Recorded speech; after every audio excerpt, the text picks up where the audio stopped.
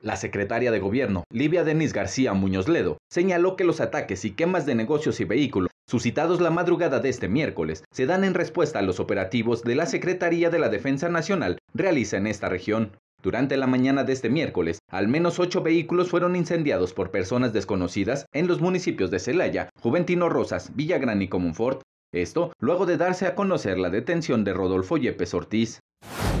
Lo que tenemos de información es que es un operativo que lleva a cabo Sedena, eh, y evidentemente pues es una reacción a este operativo, pero pues bueno, para más detalles sí tendría que ser con Sedena, nosotros no tenemos más información del operativo. Pues seguir trabajando, aquí lo importante es el mensaje de que no somos un estado pasivo, sino un Estado que tiene una estrategia clara y que combate a la delincuencia. Este tipo de, eventos pues, son normalmente en reacciones por operativos. En este caso particular fue un operativo de Sedena. El tema está controlado hoy día, se, ha reintegrado la seguridad en estas regiones, en estas zonas en donde se dio esta, esta quema y yo reiterarle, seguimos trabajando con una estrategia clara.